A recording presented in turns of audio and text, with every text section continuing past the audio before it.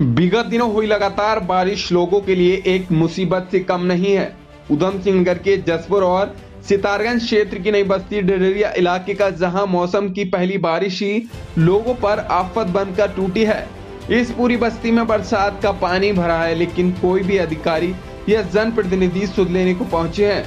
ये जो तस्वीर आप देख रहे हैं जसपुर के नई बस्ती डडरिया की है, जहाँ बस्ती के सभी मकान पानी की जद में है। बाज़ार से किसी भी ज़रूरी सामान के लिए यहाँ के लोगों को 10 बार सोचना पड़ता है। मगर लोग करे तो करे क्या फ़िलहाल? अभी तो मौसम की पहली बारिश से यहाँ का हाल बेहाल है। घरों में पानी घुसने को तैयार है। वहीं अगर यहाँ के क्षेत्र के निवासियों की माने तो पिछली बार भी यहाँ क्षेत्रीय विधायक और उप जिला अधिकारी आए थे और तीन महीने में यहाँ के रास्तों के निर्माण के लिए आश्वासन देकर गए थे। एक साल बीत गया, लेकिन धरातल पर कुछ भी नहीं है और न ही नगर पालिका की ओर से कोई ध्यान देने को तैयार है।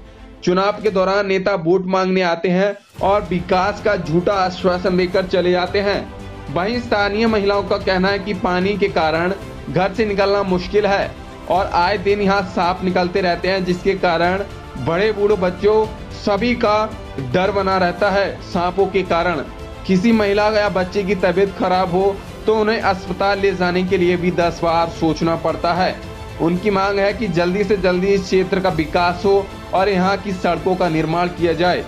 सितारगंज क्षेत्र के मलपुरी, नकटपुरा, पिपलिया ग्राम में बीती रात्रि हुई तेज बरसात से किसानों के खेतों में पानी भर गया है। किसानों ने बताया कि उन्होंने अपने खेतों में धान की पौध बो दी थी, जो कि खेत में बरसाती पानी भर जाने से खराब हो गई है, जिससे तीन गाँव के किसान प्रभावित हुए हैं। ग्रामीणों का कहना है कि मिल के द्वारा गुल पर अतिक्रमण कर लेने से बरसाती पानी नहीं निकल पाया और खेतों में भर गया।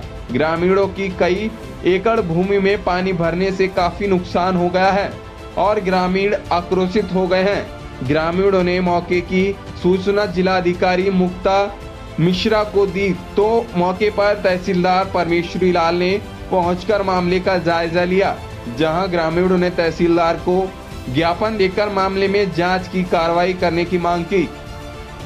वहीं यहाँ के रास्ते के लिए नगर पालिका द्वारा ईंट और मलबा तो डलवाया गया है, मगर पिछले दो महीनों से अभी तक कोई भी निर्माण कार्य शुरू नहीं किया गया है। कहीं न कहीं विभाग भी लापरवाही नज़र आ रहा है। अब देखना है कि इस बस्ती के लोगों की समस्याओं का समाधान हल कब होगा। मैं एक नागरिक हूँ, जसपुर का रहने वाला। मोहम्मद यासीन मेरा नाम है। और पिछले साल भी, उससे पहले साल भी, समझे? हमने बड़ी परेशानी उठाई। विधायक साहब पिछले साल हमने पुल बनाया, पुल पर हमने विधायक साहब को भी चलाया। विधायक साहब बोले, दो महीने बरसात की और बाकी हैं, इन्हें हो जान दो, तुम्हारी रोड बन जाएगी। साहब, बरसात लगने में पच्चीस, बीस बीस, बाईस दिन बाकी हैं और रोड का काम अभी तक शुरू नहीं हुआ। समझे? और रहा मसला, विधायक साहब सारी बातें दिल को तसल्ली दे के चले गए। विधायक साहब ने ये नहीं सोचा, आने वाले वक्त में मेरी पीठ जाए क्या करेगी? समझे? ये पूरे दे, पूरे शहर के विधायक है, क्या गाँव के थोड़े हैं? समझे? विधायक विधायक साहब का ये भी हक बनता है शहर वालों को देखने को। आप विधायक साहब बोले, भाई चेयरमैन साहब से बात करनी है। समझे? महिला बीमार होती हैं, महिला प्रेग्नेंट हैं, उन्हें कैसे लेके जाए पानी में? बच्चे में बीमार होते कैसे लेके जाए? सांप इतने होते हैं, पूरा खेत खलियान है चारों तरफ़। समझे? भटों में पानी भर जाता है सांप घरों में घुस जाते हैं। कई सांप आज आए दिन दो चार पाँच सांप मारते ही हैं सांप खतरे की है बच्चों को खतरा है बड़ों को तो बड़ों को तो है ही बच्चों को भी खतरा है। बच्चे कहाँ खेलें? सारी समस्या में बीमार रहती हूँ दिल की हार्ट की बीमारी। मुझे दवाई भी नसीब नहीं होती है कहीं रह जाती हैं और ऊपर से ये बच्चे बच्चे मेहनत से भी रह जाते हैं पानी में। और सौदा सुलभ या कोई सी भी आटा या नाच कैसे लामे कैसे जामे कैसे दवाई लामे कैसे बच्चों को भी डाल लेकर जामे कैसे मेहनती मेहनत को जामे मैं विधवा हूँ।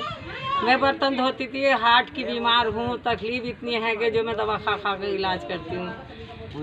कुछ भी नहीं हुआ विधायक साहब ने तो आके भी नहीं देखा कि बनी या नहीं बनी या और कोई नहीं। जो आपकी ना सुने। जब सुनी नहीं रहे हमारे तो आगे क्या चुनेंगे हम?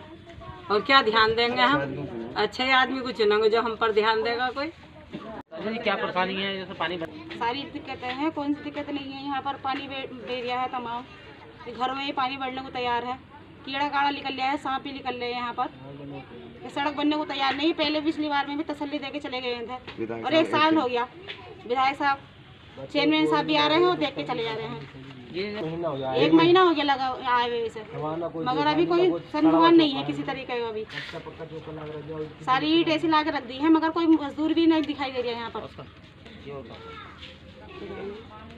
हाँ। हमें इतना पानी भर गया है हमारे मकानों में भी। हमें घर में रहना पड़ रहा है। बच्चों के लिए दुख है तकलीफ़ है हमें परेशानी है जा नहीं सकते हम किसी से भी। सारी औरतें भी सभी बच्चे वाली भी हैं गर्भवती भी हैं। कैसे लेके जाएँगे यहाँ पर दिखाने के लिए? दोस्तों अगर आपको हमारी वीडियो पसंद आए तो लाइक कमेंट और शेयर ज़रूर करें।